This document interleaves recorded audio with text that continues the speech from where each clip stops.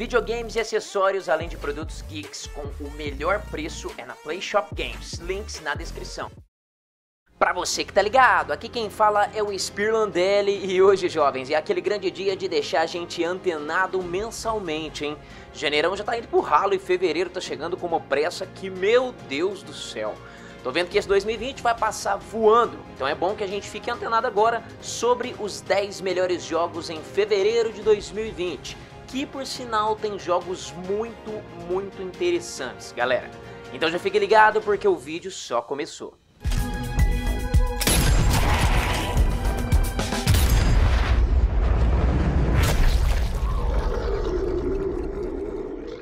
Para começar o segundo mês do ano com bastante sangue e tiroteio, temos Zombie Army 4 Dead War, que se você não sabe, é dos mesmos criadores de Sniper Elite 4 também. Aqui as hordas de zumbis do Hitler estão de volta, além de inimigos ocultos, armas épicas e também uma nova campanha angustiante que pode ser jogada de 1 até 4 jogadores. E nessa Europa dos anos 40, a gente vai lutar para salvar a humanidade do Armagedon dos Mortos-Vivos, que chega no dia 4 de fevereiro para Xbox One, PlayStation 4 e PC.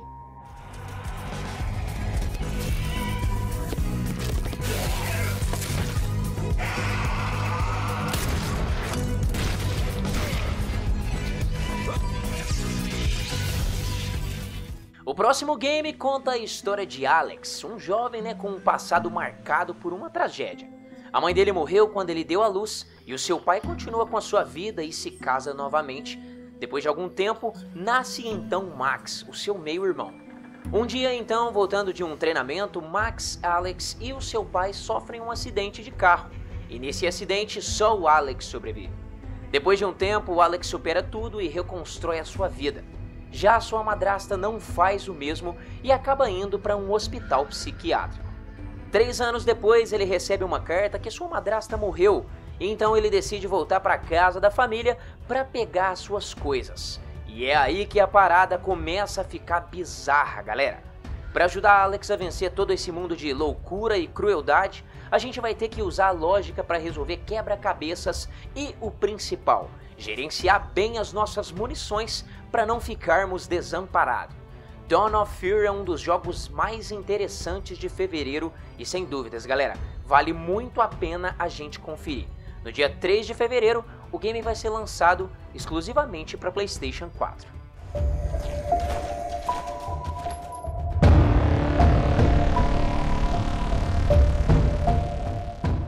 Próximo lançamento, sem dúvidas, vai te deixar animado. O game foi lançado para PC já faz um tempo e agora tá chegando no PlayStation 4 no dia 18 de fevereiro, tá? Estamos falando aqui de Hunt Showdown, que dessa vez vai contar com modo PvE solo e promessa de crossplay. A versão de Xbox também, galera, foi lançada junto com o PC, tá? E a Crytek confirmou que vai ter grandes adições para o jogo no final desse ano. E antes de tudo isso chegar, galera, a versão para PC vai ter um lançamento de atualização 1.2, que vai contar com equipes de 3, um tutorial avançado para o jogador aprender estratégias adicionais, novos caçadores, novas armas e equipamentos lendários.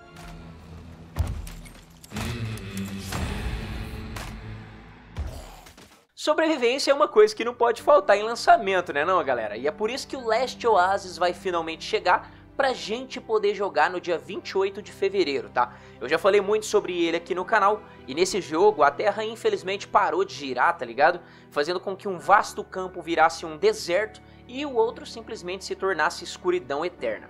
Mas no meio de tudo isso existe um oásis onde os jogadores vão se enfrentar para dominar e tentar sobreviver, né, a fim de conquistar aqueles recursos que estão no oásis.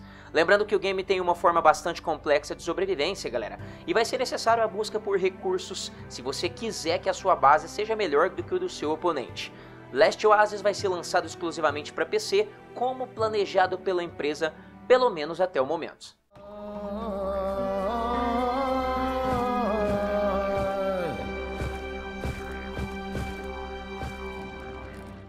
Dentro de uma casa suburbana de aparência natural, existe um pesadelo interativo e uma exploração horrível e assombrosa. Em Infliction a gente vai andar pelos restos de uma casa onde já existiu uma família muito feliz, né? E lá a gente vai ler jornais, ler cartas, ouvir mensagens de voz e juntar pistas para entender os terríveis eventos que nos trouxeram até aqui. Lembrando que esse jogo já tinha disponível também para o PC, tá pessoal? E agora no dia 25 de fevereiro, ele promete chegar no Xbox One, no Nintendo Switch e no PlayStation 4. Please want me to see a grief counselor. I want you to come with me.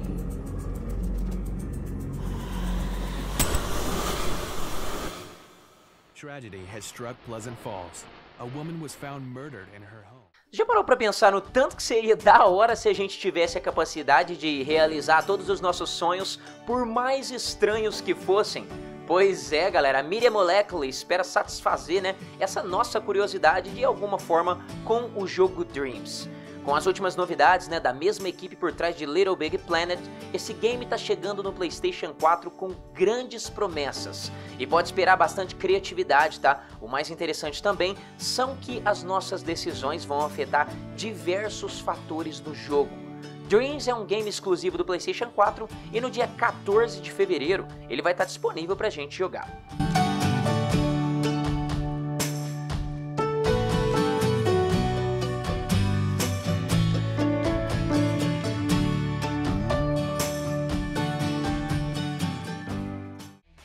Apresentando agora batalhas de 3 contra 3 em One Punch Man A Hero Nobody Knows, o jogador pode formar equipes poderosas usando seus personagens favoritos enquanto lutam aí em um universo onde ataques de vilões são a norma. Os jogadores também vão poder assumir o papel de Saitama, um assalariado né, que se tornou herói que pode aniquilar os inimigos mais fortes somente com um simples soquinho. Além disso, vários outros personagens favoritos dos fãs vão poder ser escolhidos aí para jogar. O game chega no PC, no PlayStation 4 e no Xbox One também a partir do dia 28 de fevereiro desse ano.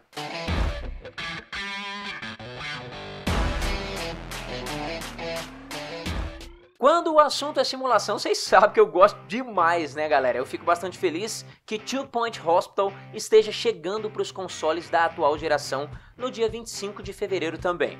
Se você não conhece aqui no game, a gente não só cria, né, como administra detalhadamente hospitais, como contratação de funcionários, cura de doenças peculiares, né, compra de máquinas, né, e produtos para a gente melhorar o nosso serviço no hospital e até mesmo a demissão daquele seu funcionário que está dando trabalho à medida que você toma conta da sua organização de assistência médica em todo o condado de Two Point. Se você que tem PlayStation 4, Xbox One ou Nintendo Switch, né, e ainda não conhece esse game, eu recomendo bastante. É muito da hora, galera. Out of your body. Mm. Just infection is no laughing matter. Condado de Lewis e Clark, Montana, Estados Unidos. Há 10 anos, a adolescente Nicole e sua mãe deixaram o hospital da família depois de descobrir o caso de Leonard com o pai e a gravidez de Rachel, que é uma garota de sua idade que acabou se suicidando. Agora que seus pais faleceram, Nicole espera cumprir o último desejo da sua mãe, que era vender o hotel e fazer as pazes com os parentes da Rachel. Ela então volta ao hotel com o advogado da família para auditar a estrutura que já está em decomposição. Com o tempo, Nicole fica muito ruim e precisa encontrar estrutura em outro lugar, e é nesse lugar que ela vai que a gente vai descobrir uma história de amor e morte que promete impactar drasticamente a sua vida. The Suicide of Rachel Foster é um jogo que foi lançado para PlayStation 4 e Xbox One no ano passado, galera. E dessa vez ele chega no PC no dia 19 de fevereiro para alegria de muitos.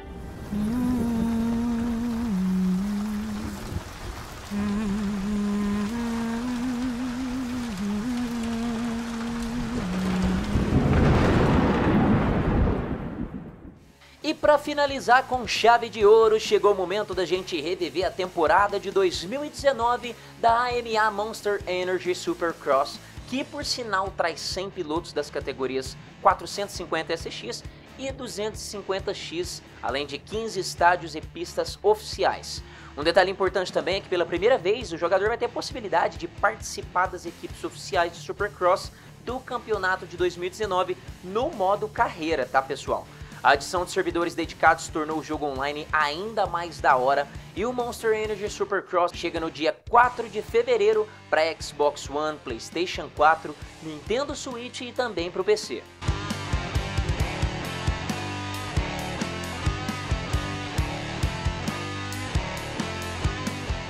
Galera, então já sabem, né? Bora guardar aquela graninha, porque não só 2020, mas fevereiro também tem jogos muito interessantes, hein?